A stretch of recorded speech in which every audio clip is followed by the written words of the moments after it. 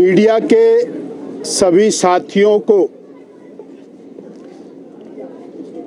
ईसवी संवत 2024 की बहुत बहुत शुभकामनाएँ बहुत बहुत बधाई 2024 के आगाज़ हुआ है और 2024 की शुरुआत में भारतीय जनता पार्टी के माननीय राष्ट्रीय अध्यक्ष श्री जगत प्रकाश नड्डा जी, वो हिमाचल पधार रहे हैं। हमारे लिए ये गौरव का विषय है कि भाजपा जो विश्व की सबसे बड़ी राजनीतिक पार्टी है, उस राजनीतिक पार्टी के नेशनल प्रेसिडेंट हिमाचल प्रदेश जैसे छोटे राज्य से आते हैं।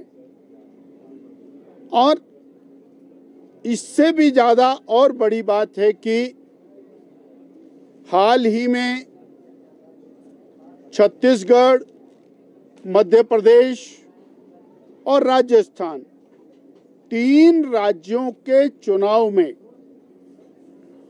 प्रचंड जीत हासिल करने के बाद शिमला में पहली बार माननीय नड्डा जी का आगमन हो रहा है। यह बताते हुए मुझे हर्ष होता है आपके माध्यम से हिमाचल वासियों को शिमला संसदीय क्षेत्र के भाई बहनों को। नड्डा जी का प्रवास पाँच तारीख को होगा। प्रातः नौ बजे सोलन आगमन का समय है। सोलन की माल रोड के ऊपर सोलन सिरमौर जिला के भाई बहन उनका अभिनंदन करेंगे। और इस बात की बधाई देंगे कि उनकी अध्यक्षता में श्री नरेंद्र भाई मोदी के नेतृत्व में और होम मिनिस्टर श्री अमित भाई शाह के मार्गदर्शन में ये तीन राज्यों की जो प्रचंड जीत है, जो लैंडस्लाइड विक्ट्री है उसके लिए माननीय नड्डा जी का अभिनंदन। ऐसा कार्यक्रम संपन्न होगा। उसके बाद शिमला आएँगे। पीटर हाउस में शिमला जिला के भाई बहन उनसे मिलेंगे, उनका अभिनंदन करेंगे।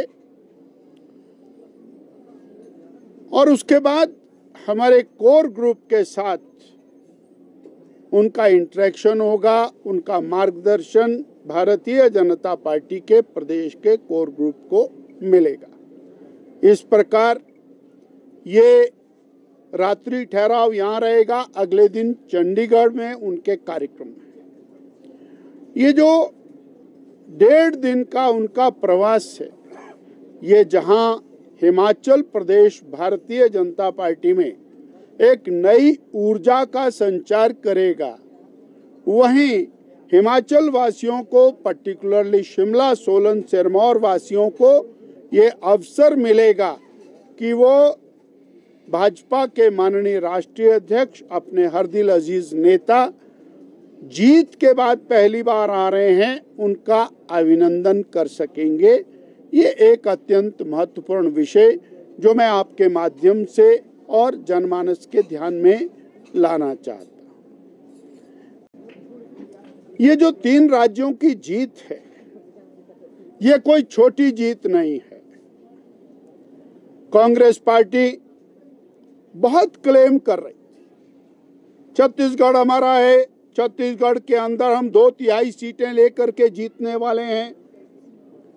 पूर्व मुख्यमंत्री बाघेल साहब, वो हिमाचल आए। 2022 के चुनाव में उन्होंने बहुत कुछ यहाँ बोला।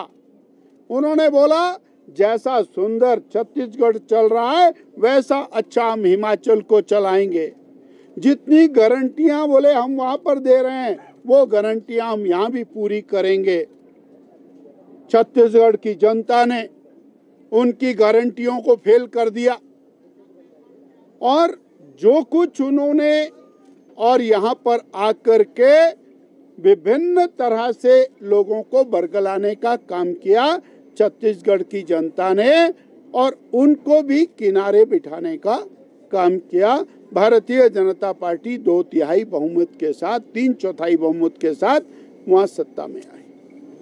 मध्य प्रदेश के अंदर, जहाँ 18 साल से भारतीय जनता पार्टी का शासन था, वहाँ पर पांचवी बार भारतीय जनता पार्टी ने अपनी सरकार बनाई और दो तिहाई बहुमत के साथ लैंडस्लाइड विक्ट्री के साथ बनाई, जबकि कांग्रेस पार्टी का ये कहना था, राजस्थान, मध्य प्रदेश और छत्तीसगढ़, तीनों राज्य इस बार कांग्रेस को मिलने वाले